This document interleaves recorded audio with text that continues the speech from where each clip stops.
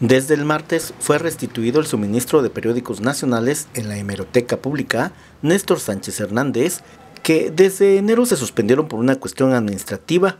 En la hemeroteca se pudo observar los ejemplares impresos como los periódicos Milenio, El Universal, La Jornada y Excelsior.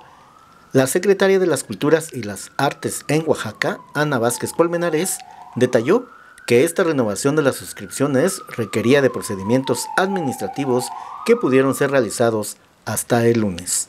Lo que sucedió es que hubo un entrampamiento administrativo para poder hacer la renovación, la contratación de los periódicos nacionales, que es de cerca de 40 mil pesos, eh, por reglas de operación que yo tampoco pongo, eh, hay que hacerlo a través del subcomité de administración y de compras de la Secretaría de las Culturas. Y ese comité no estaba instalado. ¿Y por qué no estaba instalado? Pues porque hay que contar con la eh, presencia de un representante de la Secretaría de Administración. Y la fecha que ellos nos pusieron para poder hacer este subcomité fue justamente el 27 de em, febrero. Nunca esta Secretaría dio la instrucción de que se dejaran de comprar los periódicos, ni hubo la intención de dejar a la ciudadanía sin eh, este importante medio que es el acceso gratuito y libre de la prensa escrita. Es muy importante.